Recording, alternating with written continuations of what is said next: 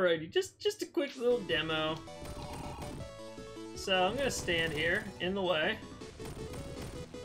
and uh, the rockets are going to hit Knuckles right in the head, and they're not gonna blow up the floor. Now I don't, I don't remember. It's been a hot minute since I've played the original Genesis, or even the Sonic 3 uh, Air version of the game. I don't know if both of those do this, but the way this engine works, the rockets that shoot into the air, uh, they come parachuting down and they just kind of land on your head. So, yeah, I don't know, man. Now, of course, if I move, and they're kind of like staggered too, like they're right here. So they hit a little bit of an area, and that's why I kept moving. And again, you know, just gave me something to do while I waited because they have that stupid waiting section there that kind of sucks.